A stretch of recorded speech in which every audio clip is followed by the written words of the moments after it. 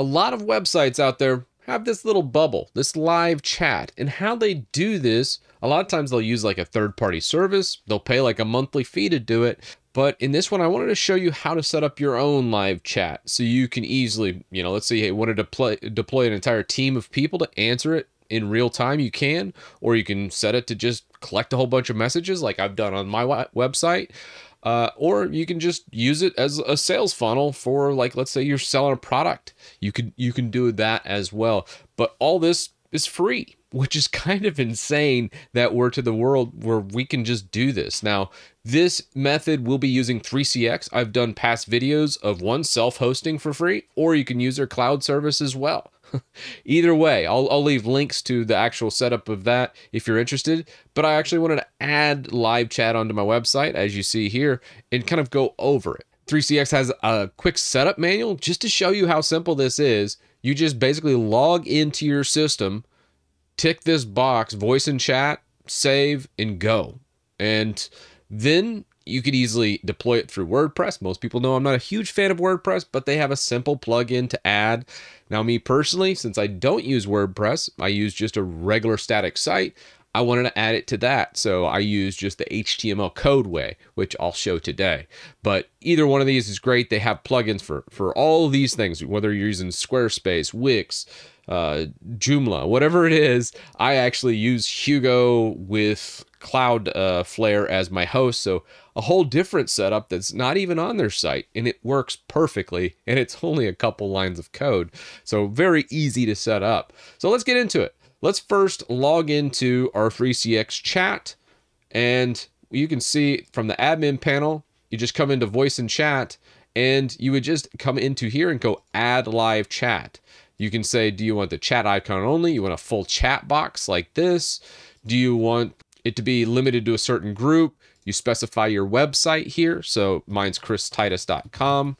Uh, you say, what do you want to capture? Do you want to capture your name and email address? You want to just capture the name. If it's only live chat, that's fine.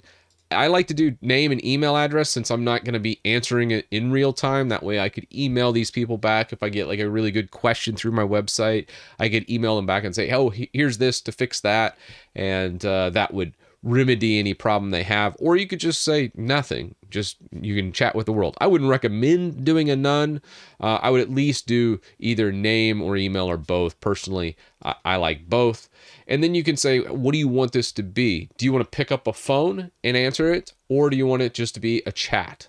So obviously, uh, I use just chat because I can't be sitting here picking up the phone every five minutes, especially if I'm recording a video like this one. So chat only is what I do. And then I can stylize it with all these different things. Now you can do slide ups.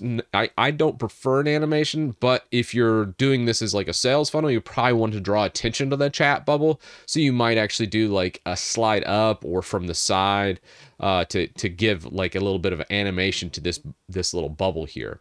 The messages themselves, you can you can customize this and then specify like a default photo and the agent's name that would be taking the chat if you want, or it could be just a generic one. Just let's say it's your business. Uh, you can do that as well. And then obviously we have privacy controls. Obviously for Europe, you're going to want to put a GDPR uh, notice for that to say, hey, you can you're accepting some uh, private cookies to make this possible. So let's go over to my live chat. This is how I have it set up on my website. You can see it's directed to my 100 extension right here in the studio. So if uh, it did get elevated into a phone call, it would ring my phone right back here. Uh, styling, I didn't do any animation. I really don't want to draw too much attention to it. People on the website might notice it and click on it, which I'll show you what that looks like here in a second. Uh, the messages, uh, I didn't like the default message for the chat box intro, so I was like, hey, what seems to be troubling you today? I kind of just wanted to use this as a way to just people that visit christitus.com getting their their opinions. Hey, what do you, what, what problems are you running into uh, that I may or may not be able to help with, but at least it give me a better understanding of the audience that visits the website and why they'd get go there, and maybe something that they didn't see or, or some kind of feedback they wanted to give, they can they can give it to me. And then for the agent name, I just put my uh, default uh, photo right here, uploaded it, and then named it myself.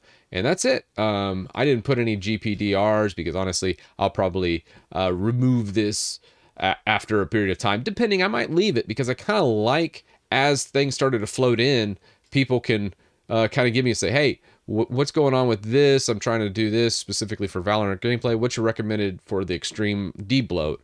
And for Valorant gameplay, it probably wouldn't be anything. Um, and I could email that person back by just coming in here, clicking the dots, get some more information about them. I'm going to obviously blur all that out, but it shows his email and his IP address right there. So I could uh, contact that person back via email which is really cool. It's a really neat way to interact with any of your clients, customers, uh, or, or just uh, audience in, in my case. But how did I add this to the site? If we come back to just voice and chat, you can just click this I and then just copy the HTML code. Now, looking at this chat, you'll you'll see that there's a lot of uh, comments here, but really, I could actually break this down this is everything, including a, a image operator icon. It, it, broke it out into this code, uh, base 64 code. But really, there's only two lines that need to be added. This is all the settings, but I prefer to just pull that directly from my box. So really what you're looking at here is just these two lines. The call-us uh, selector and then the script to utilize the call-us selector. This will go ahead, add everything for your site. And this just needs to go between your body tags. So if you look at the base of, it goes between the opening and closing body tag. I like to put it towards the closing uh, body tag right down here with like some other code copies and some Google ad stuff uh, right here, right before my footer comes in.